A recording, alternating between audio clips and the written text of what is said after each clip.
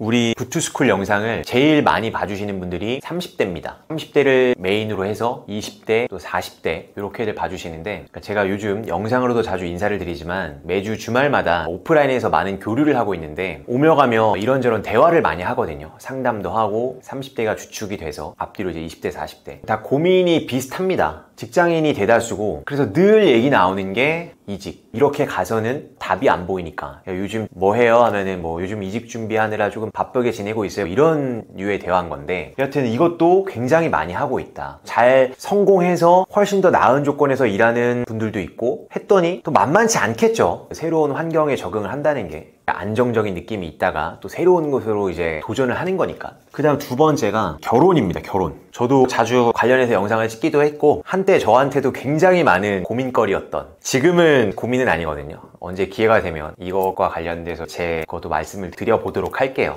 저희 부투스쿨 영상에서 유튜브가 한번 떡상했던 것도 또 많은 분들이 좋아해 주셨던 것도 결혼 관련된 건데 그게 그러니까 제가 흉내낸 게 아니라 진짜 제가 한 34에서 5요 넘어갈 때 이 고민을 정말 굉장히 진지하게, 굉장히 심각하게 했었거든요. 결혼이라는 거를 해야 될까? 누구랑 해야 될까? 저는 또 투자 이런 거에 익숙한 사람이고 또 요즘 저거 있죠? 너 T야? T고 또 J여가지고 ENTJ니까 이성적으로 계획하고 막 이런 성향이다 보니까 내 가치 대비 뭐 이런 것까지 막 생각을 한 거죠. 여하튼 이런 고민도 되게 많이 하고 보니까 꼭 수강생 분들 중에 결혼 소식이 있는 분들이 있습니다. 저랑 좀 친한 분은 청첩장 주고 그럼 제가 이제 화환 보내고 갑자기 어느 날 결혼하고 왔어요. 뭐 이런 분도 있는데 이것도 되게 중요한 돌파구일 수도 있죠. 그 다음 3번이 어떤 시험을 준비하는 분들도 꽤 있습니다. 조금 늦은 나이긴 하지만 더 늦기 전에 좀 안정적인 길을 가겠다는 거죠. 그러니까 어떤 전문직 라이센스를 딴다든가 요즘은 좀 뜸하긴 하지만 그래도 여전히 공무원 관련된 수요는 꾸준히 있고 그래서 지금 다니는 직장에서는 답이 안 나오고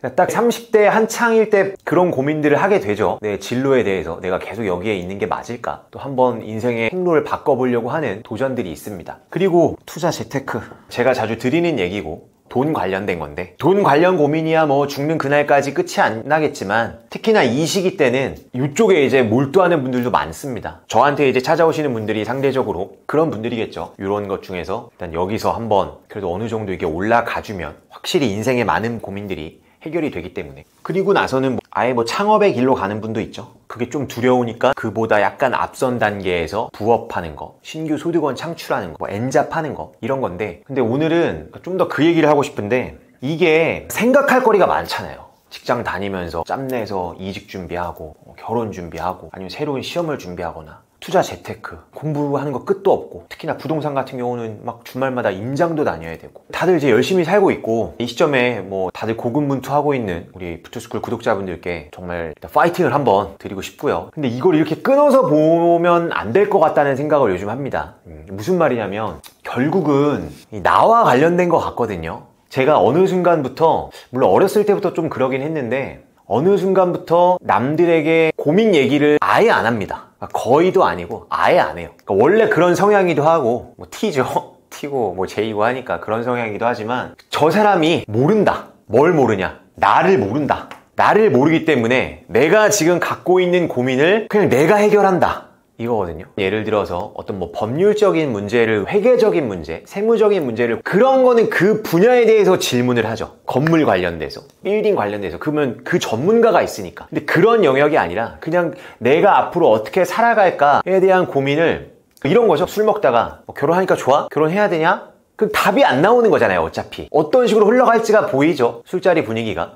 너무 좋아해. 뭐 그래도 해야지. 형은 하지 마. 뭐, 뭐 이런, 그러니까 결국은 나에 대한 문제인 것 같아요. 나. 이직할까요? 결혼할까요? 시험 준비할까요? 투자할까요? 뭐, 뭐 할까요? 그 답은 나한테 있어요. 나한테. 나 자신에게. 그러니까 우리가 그 누구보다 나를 잘 알아야 됩니다. 그래야 방황하지 않는 것 같고요. 그래야 정말 뼛속 깊은 탄탄한 자존감, 그리고 자기 확신, 그리고 흔들리지 않는 뚝심, 고민을 아예 안 할 수도 없지만, 그래서 나에 대해서 우리가 좀 생각을 해야 된다. 근데 이거를 물론 다들 시간도 없겠지만 냉정 얘기해서 시간보다는 그러니까 혼자 있기를 좀 두려워하는 것 같거든요. 고독하잖아요. 사람은 이게 본성이라고 합니다. 뭔가 무리를 지어야 되고 저도 그거는 절대적으로 공감해요. 그런 네트워크에 속해야 되고 만나는 사람이 나를 바꾸고 환경이 중요하고 제가 그런 얘기도 자주 드렸는데 절대 그 과정 중에서도 잊지 말아야 될 게 딱 내 중심을 잡아야 되기 때문에 내가 어떤 인간이지? 이 고민을 어렸을 때부터 되게 많이 했거든요. 제가 지금 어떻게 보이실지 모르겠지만 생각보다 남 말에 휘둘리지 않거든요. 그리고 누가 뭐라든 주변 상황이 어떻든 시장 상황이 어떻든 뚝심 있게 계속 밀고 가는 면이 있는데 나를 좀 찾아야 될 것 같아요. 나도 나를 잘 모르는 게 인간이기 때문에 그래도 계속해서 제가 되게 어렸을 때부터 자주 했던 게 노트를 꺼낸 다음에 항상 하는 게 있습니다.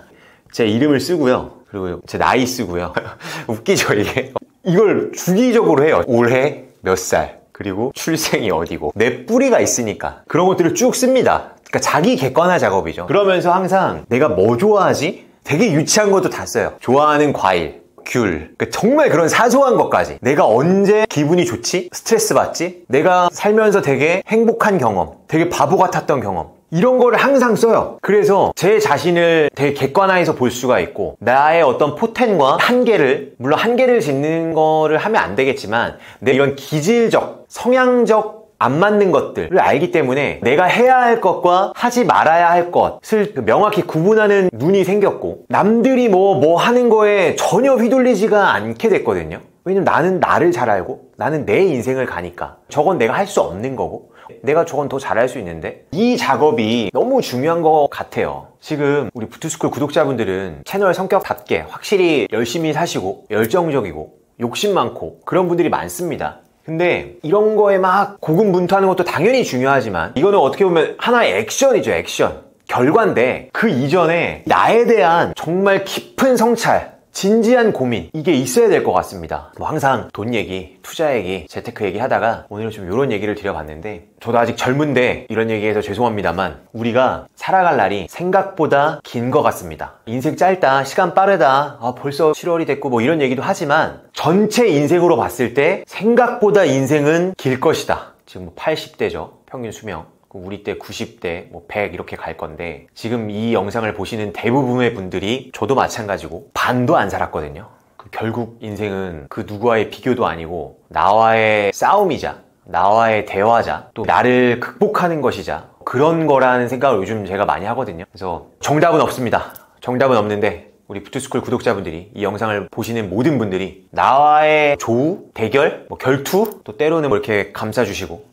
그 행위를 멈추지 않으셨으면 좋겠습니다. 저도 더 열심히 살아가도록 하겠습니다. 오늘도 진심으로 고생 많으셨습니다. 파이팅!